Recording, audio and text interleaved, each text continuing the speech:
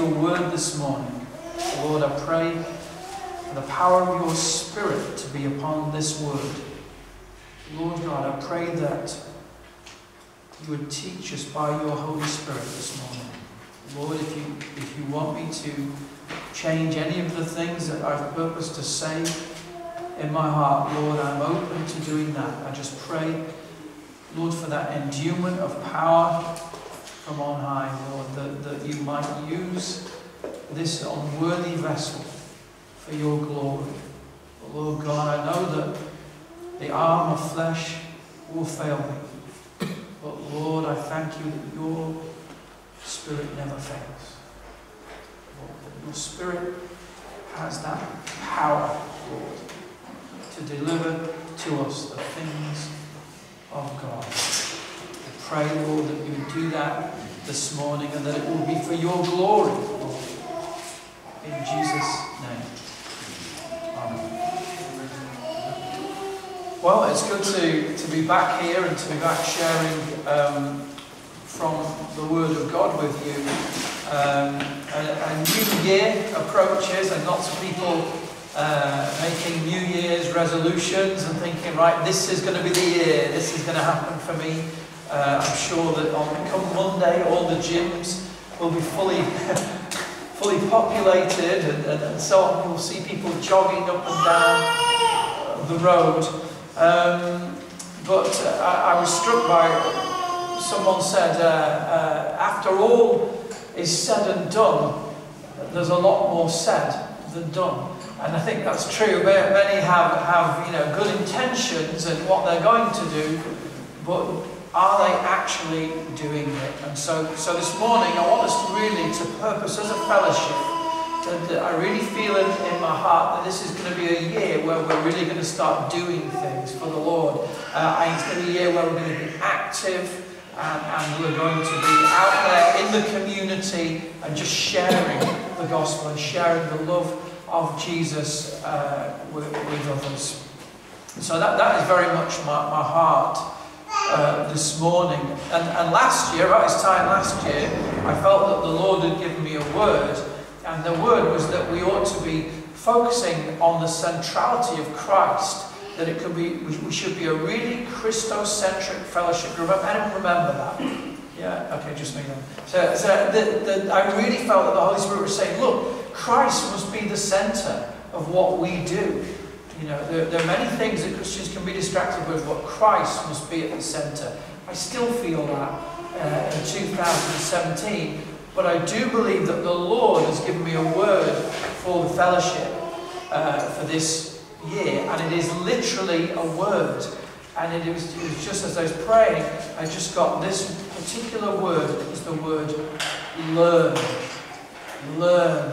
And I believe that the Lord is going to teach us through His Holy Spirit, me included, this year, that we're going to go deeper into the things of God. That We're going to learn more about this book uh, we're going to get deeper into it and, and, and, just really study this year, really apply ourselves. And if it's a little, you know, you're not somebody who's used to reading a lot or studying a lot, make it this year that you start to really uh, uh, be a, a, good workman, show yourself a good workman approved by God as we as we go through the year. So, and, and there are some resources you'll see on the table over there as well that we produce some new things this year. We've got some audio uh, uh, some CDs that you can download those as well from the internet. Uh, put out by Pilgrim's Pathway Ministries, teaching on some of the deeper things like, um, let me think, justification, um, uh, imputation, predestination, stuff like that, that if, you, if you've ever kind of scratched your head over those things,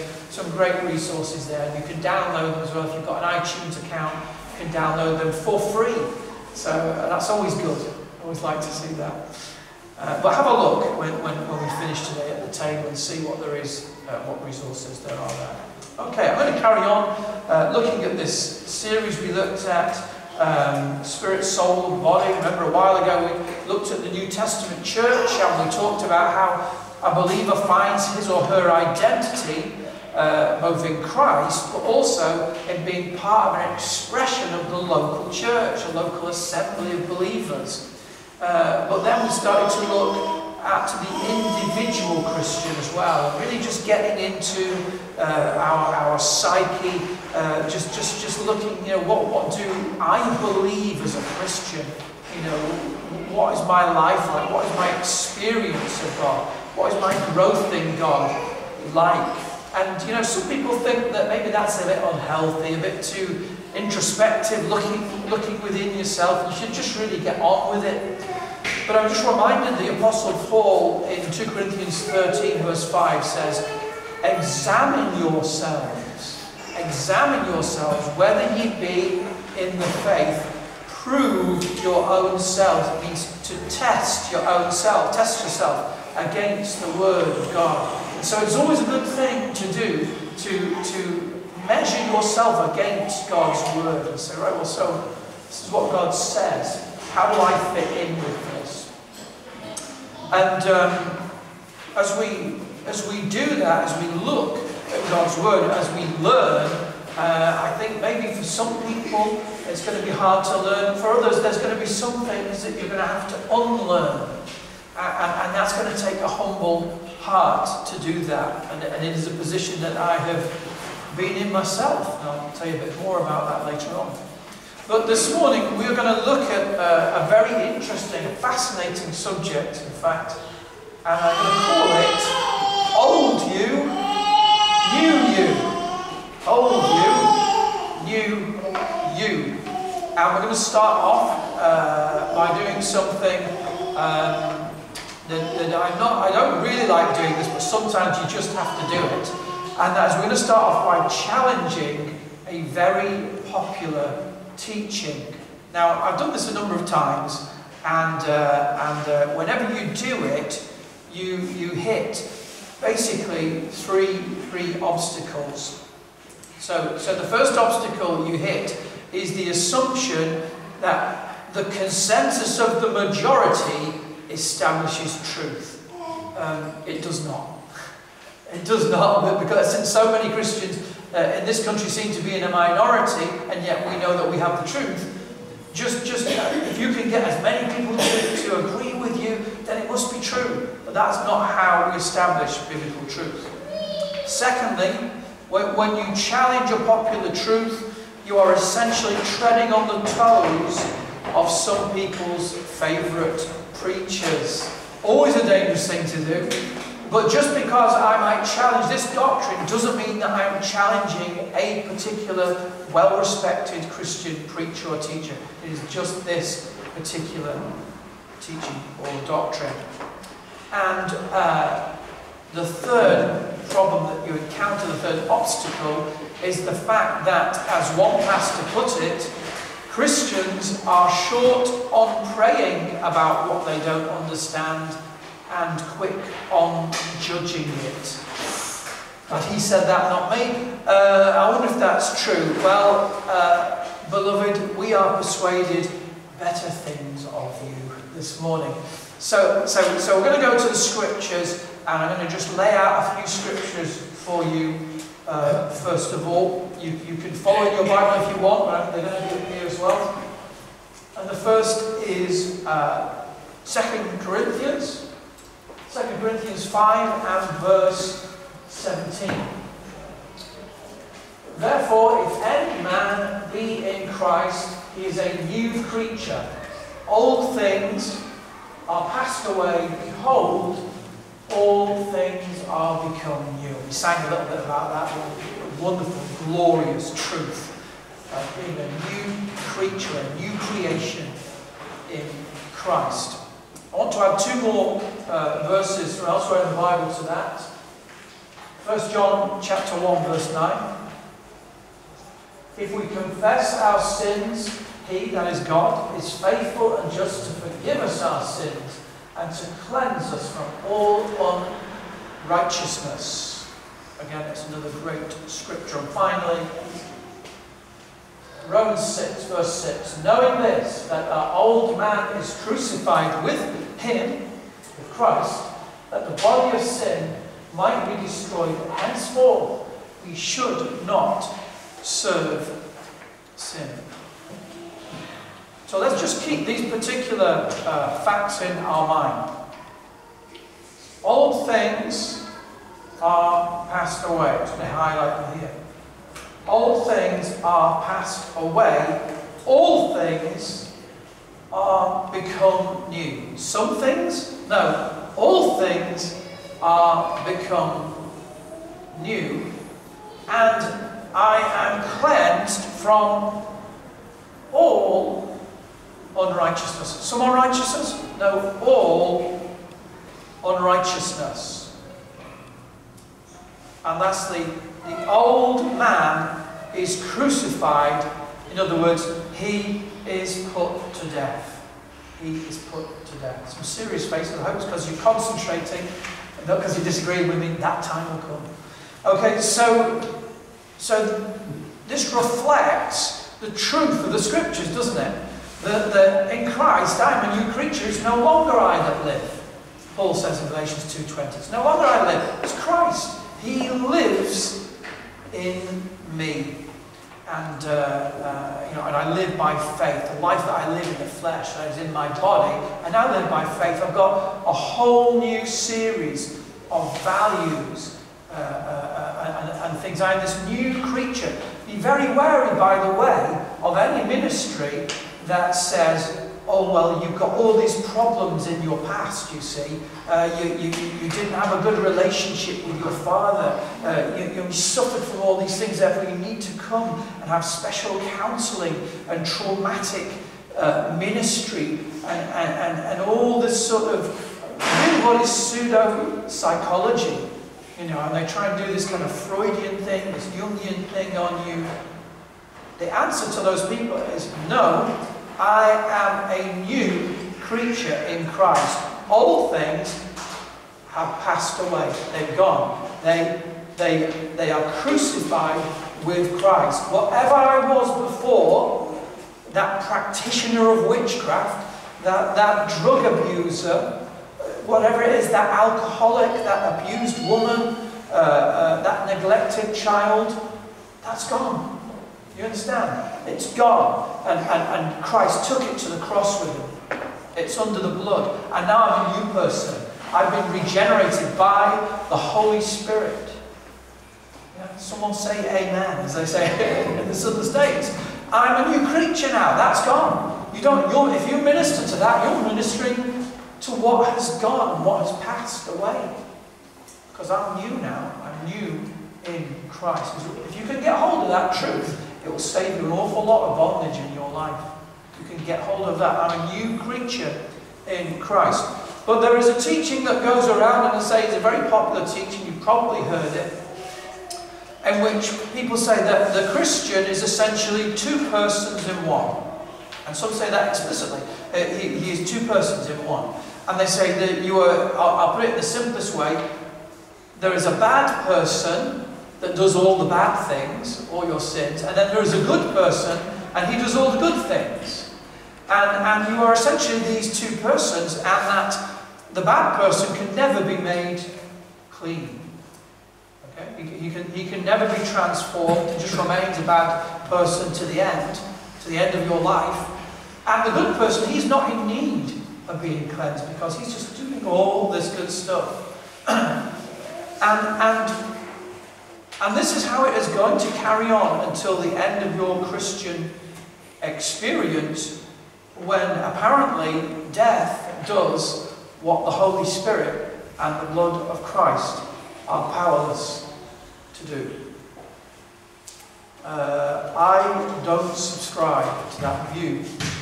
And let me tell you this morning that I am not alone, I'm pleased to say. This man William Booth, the founder of the Salvation Army, uh, had the same problem. He didn't see that teaching in the scriptures. You know, the scriptures that we looked at said that, that, that my old man is crucified. He, he is on the cross. He, he, he, to be crucified is to be killed, to be dead. Okay? Uh, uh, and, and I am cleansed. Well, hang on if, my, if this old person, this, this bad person can never be cleansed, and if this good person doesn't need cleansing, then who's being cleansed? Am I a third person? Is there three people in me? And I'm the one who's being cleansed. Yes, sometimes joining with the bad, sometimes joining with the good. When I die, what happens to the bad person and the good person? Does the bad person go to hell? Does the good person go to heaven? Where do I go? So I think there's a, and I'm not mocking people who teach it, preach it. They preach a lot of other things that are good. Let me say that. But I think this is a mistake. I don't think this is really what the Bible teaches. Now let Booth have his say. He says the Christian knows that he has not two distinct and separate natures, but that he is only one person. If he does a right action, he feels that he, the man, has done it. Catch this by the grace of God, that's important. And if he does wrong, he feels equally the act is his own and he condemns himself for it. Children can all relate to that. You do something good, you're pleased. Are you pleased with yourself? You better be because you just did the will of God. And if you do something wrong, you feel condemned. You come before the Lord, you weep. Why? Because you know you've done it, not some other uh, uh, entity living there.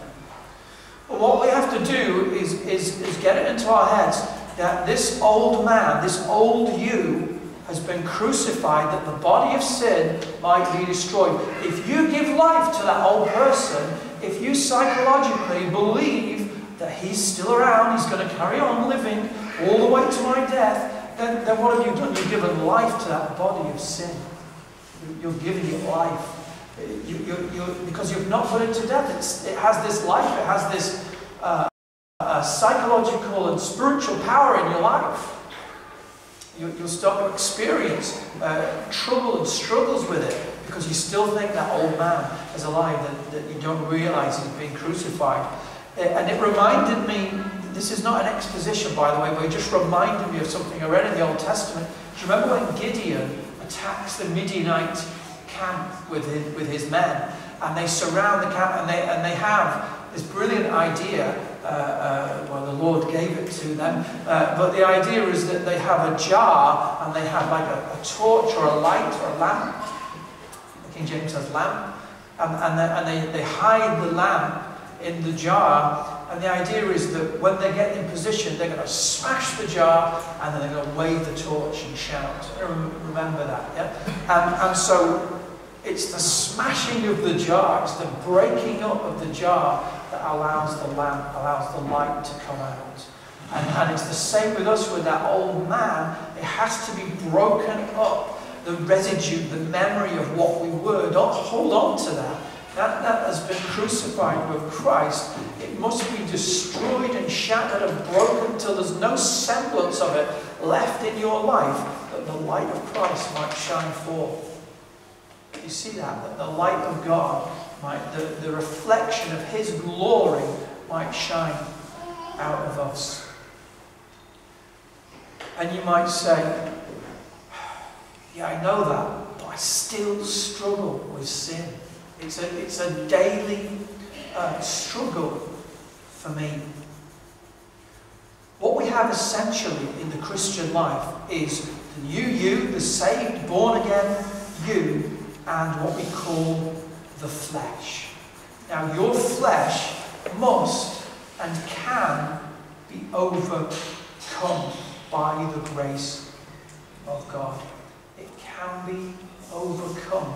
It must be crucified. It must be, uh, uh, I think the term is used in the King James is mortified, put to death. Because if it is not put to death, it will start to reassert itself. It will try and take back that old life again. It will try and get itself back in that position on the throne of your heart. Who knows what I'm talking about? You had that struggle uh, and, and everything's going well, everything's going great, and then suddenly something that I thought I got rid of out of my life comes back. You know, I thought I defeated this, and there it is again. And I found myself, oh, hang on, it's no longer Christ now on the throne of my life. I'm being driven by the flesh. Yeah? So let's have a look at Ephesians chapter 4. Galatians, Ephesians chapter 4. and verse 21. In fact, we'll start at verse, uh, verse 20.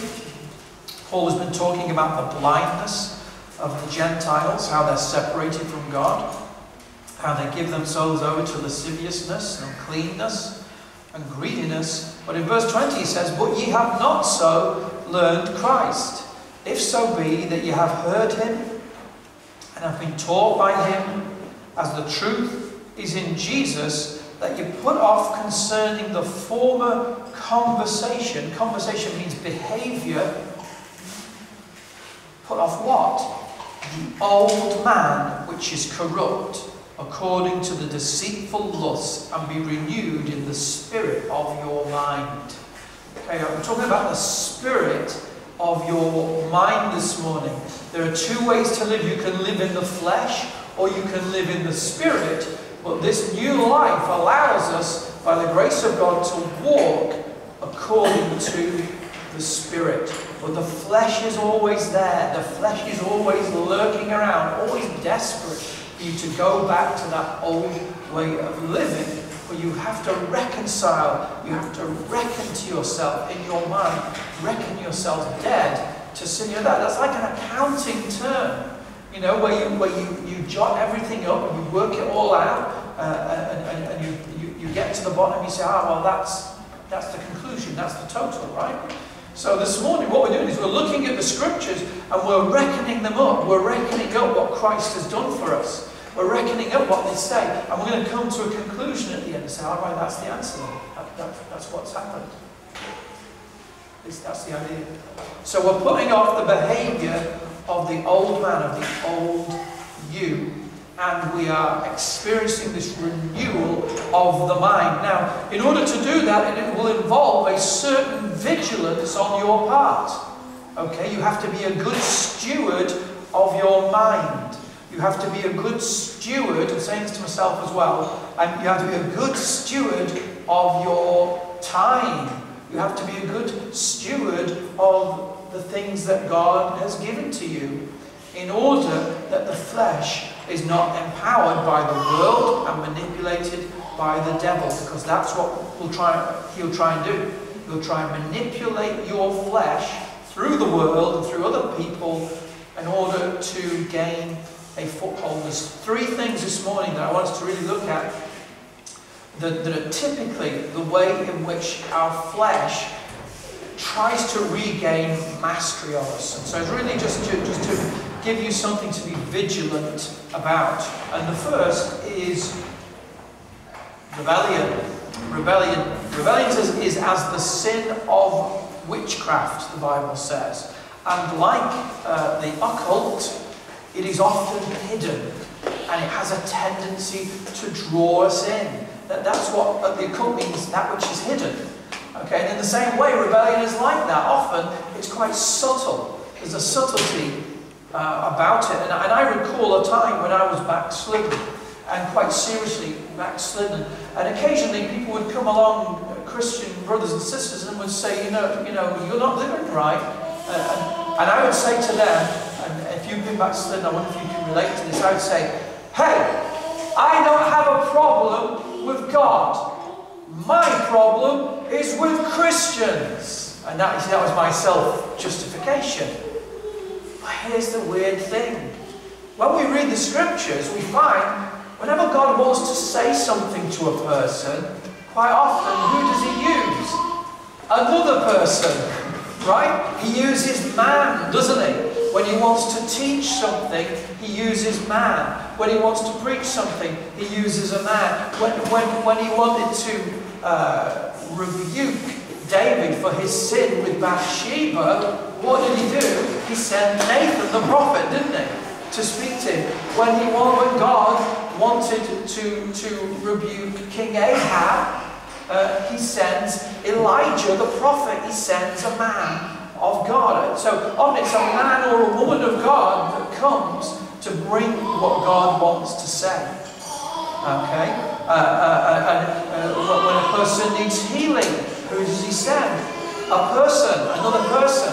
So the idea that I've got no problem with God, but I've got problem with people, the Bible doesn't support that. And so, where is our rebellion directed towards? Often it's towards men and women of God, it's towards other Christians.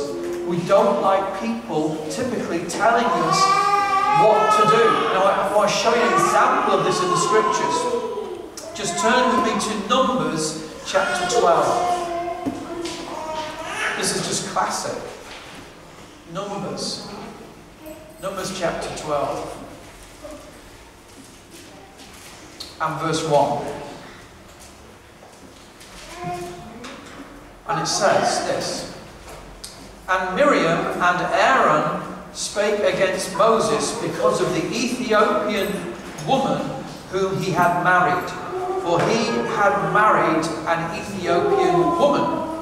And they said, Hath the Lord indeed spoken only by Moses? Hath he not spoken also by us? And the Lord heard it. The Lord always hears it, doesn't he? Those things that were said in quiet, that gossip that was said behind closed doors, the Lord heard it. And so what are they saying? They're saying, well, who's this Moses?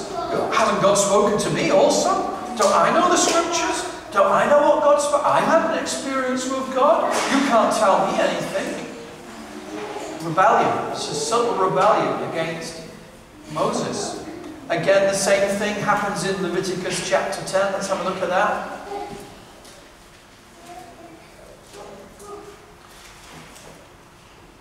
Leviticus 10, verse 1. And it says, And Nadab and Abihu, the sons of Aaron, took either of them his censer, and put fire therein, and put incense thereon, and offered strange fire before the Lord, which he commanded them not. And there went out fire from the Lord, and devoured them, and they died before the Lord Be careful what we bring before God and how we bring it. If God has not appointed you to do something, you should not be doing it. Okay? And, and when we, we, we get back to the story of, of Miriam and Aaron, in Miriam's case, we read that the anger of the Lord was kindled against her, and the, and, and the cloud of God's presence departed from off the tabernacle, and behold, Miriam became leprous, white as snow. And Aaron looked upon Miriam, and behold, she was leprous. She became a leper. God, God struck her with leprosy for speaking against uh, Moses. Hath the Lord indeed spoken only by Moses? Hath he not spoken also by us? Yet in, in the scriptures, we, we see this concept of mentoring, discipleship. All the way through the scriptures.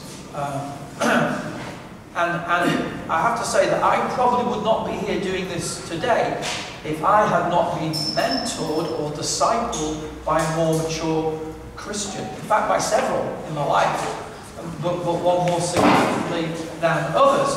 And, and he came along at a time where I've probably been a Christian about 20 years. You know, I, I, I preached in, in my church. I, I'd run my own house group. Uh, I, I was an anointed worship leader, uh, what, whatever that means. Uh, so, you know, and I could have said, well, who's this person to come and tell me? Don't I know the, Lord, the Lord's word? Don't I know the Bible? Haven't I taught other people this?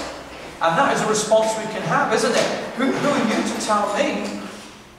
But God brought this person into my life, and, and I had a choice. I could, I could respond humbly and say, okay, well, let's see what the Lord is teaching me. Or I could say, this man can't teach me anything.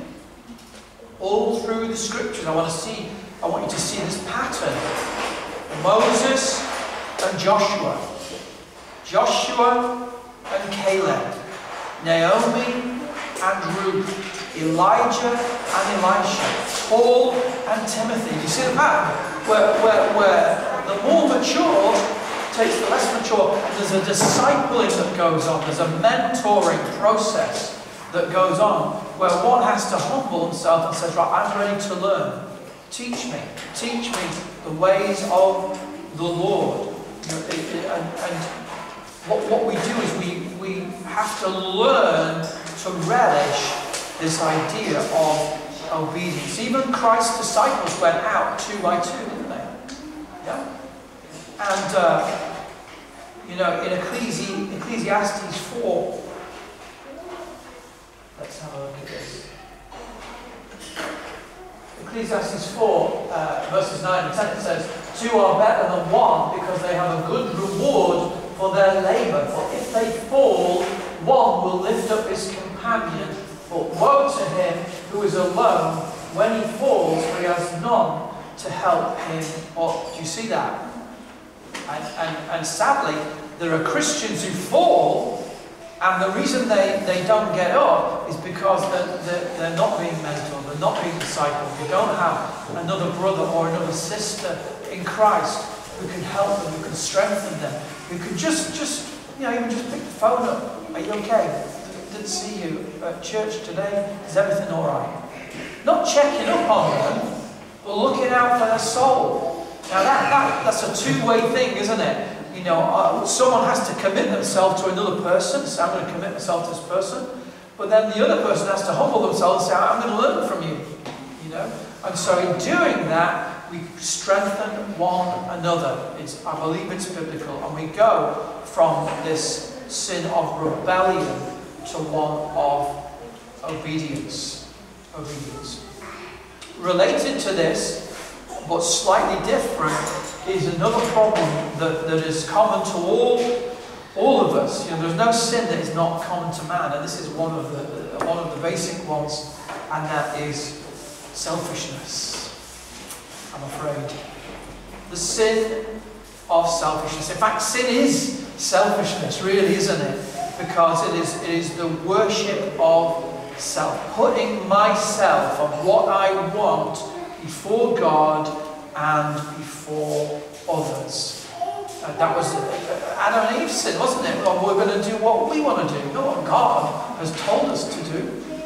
And so, what we read in the New Testament is what the Bible teaches is that apostolic teaching, fellowship, breaking of bread, and prayer are, are, are the fourfold priorities of the New Testament church that, that they must become something uh, uh, that I do. They must become the priorities in my life as a New Testament believer now. And, and I'm not directed just towards uh, uh myself now. I have other things that are important uh, uh, in my life. And, and, you know, one pastor said that he came to a, a sort of breaking point in his life when he, he, was, he was trying to live the Christian life. And he came to a moment of realization a moment of, if you like, clarity. Uh, and, and I'll, I'll, read his words. This is, this is how he put it. Um, he, he said, I alone ran my life. That, that's, he suddenly realized, I alone ran my life. I alone made every decision. I chose my own path. I was my own master and Lord. I answered to no one, sought to please no one, and catered to no one but myself.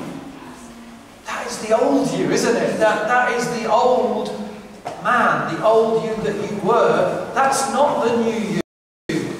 We're, we're not like that anymore. Don't, don't try and let Satan bamboozle you into thinking, oh yeah, this is, I can't help it because I got this old man. Yeah, sometimes I'm him, sometimes I'm like Jekyll and Hyde. You know, who will I be today? No, that person, that old man that's crucified with Christ, you need to reckon him dead. And reckon yourself dead to sin, dead to the world, but alive to Christ. changed from being selfish to being selfless. I'm going to only do that by the work of the Holy Spirit, by yielding to Him and allowing Him to live within you. The third and final obstacle uh, or the, the, the, third and final problem that we encounter uh, that, that bring something of, of the flesh back into a position of authority is uh, this word carnality. Carnality. Carnal uh, means to do with the flesh. You know, like when you were at school, if you if you uh, uh, when we're reading about dinosaurs and so on, and your teacher would say, well, this one is a carnivore. Car, carnivore means a flesh eater. And so carnality means to do with the flesh.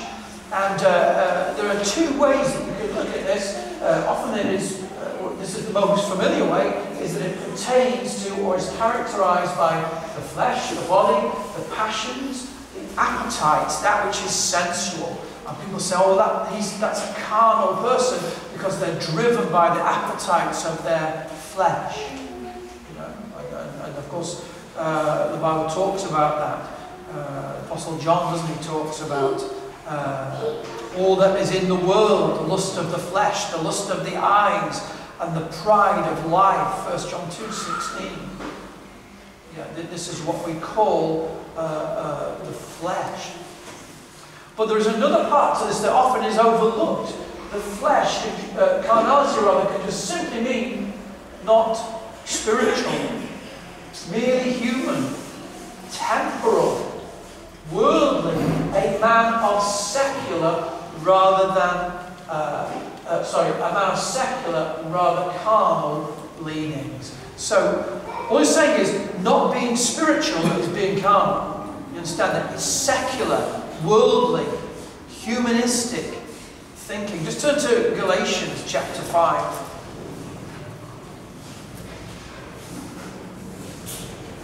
Galatians 5 and uh, verse 16.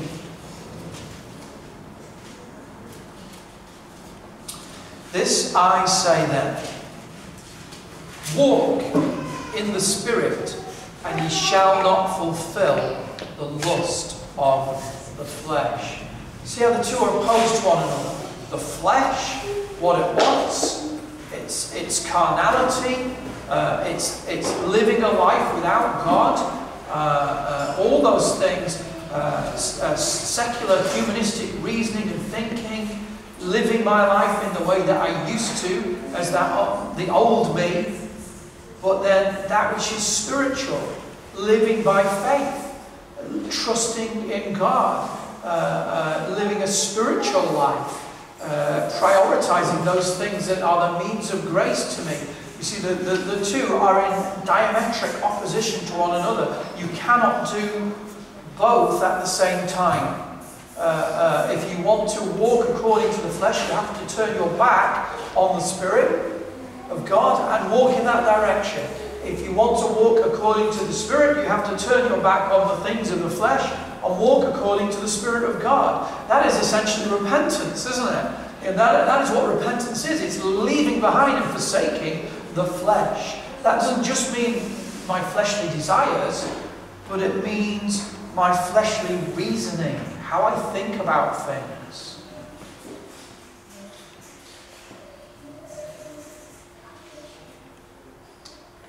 Herein is revealed the difference between living according to the flesh and living or walking according to the Spirit. So that if you have a Christian who is walking according to the Spirit and they invite their friend to church and, and they, their friend comes and he sits down in the church I'm telling you, they are praying, they are hoping that the preacher is not going to compromise the word of God. They're praying, they're saying, preacher, preach or preach repentance from sin. They're, they're hoping, they're praying inside themselves. I hope that he talks about faith in Christ and repentance from sin. I hope that he talks about denying yourself and taking up your cross. I hope, I hope that he tells my friend uh, uh, to, to deny themselves and follow Christ. I hope he tells my friend to count the cost. See, see the, the spiritual believer in Christ is counting on all those things He's wanting the preacher to hit every one of those things. Why? So that their friend might be saved. That they might be born again by the Spirit of God. That's all, that's all that person thinks about. I just want to be saved. I just want to know God and have that gift of God. Even if they run out of the building crying, I, I, I want them to get on their knees and get saved. By contrast, the fleshly minded professor of religion is willing to compromise all those things. In fact, I hope and pray the preacher doesn't hear any of those things. Because they simply want their friend to come along and join the church.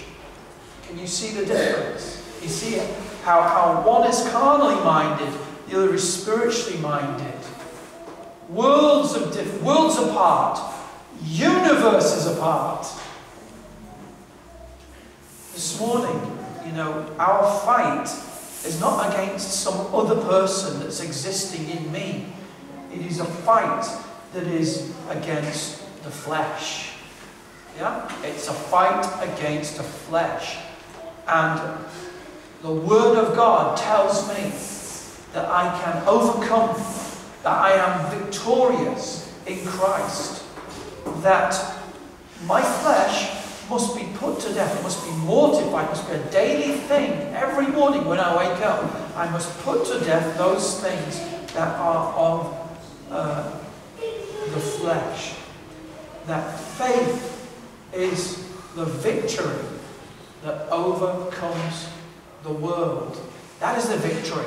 My faith, my obedience to Christ uh, uh, will, will overcome my flesh that I might live a victorious life, that, that I might even receive a crown, a crown of an overcomer from the Lord Jesus Himself. So let's make this year a year in which we overcome the things of the flesh. Let's make it a year where, where we, we realize, we understand, we believe that, that actually my, the old me has gone. He was crucified with Christ. Whatever I was before, this is what my relationship with my father was like, and I had a pretty bad one. My father has nothing to do with my relationship with my heavenly father. Doesn't matter, because that was the old me. Now I am a new creature, a new creation in Christ. And that is something to rejoice in and to celebrate in this new year, isn't it? And, and that we might lead others also to become new creatures in Christ by the grace of God. Let's pray. Heavenly Father, thank you, Lord, for this time we've had around your word. Lord God, teach us, lead us, help us to be humble, Lord, to be taught by your Spirit, Lord. In Jesus' name.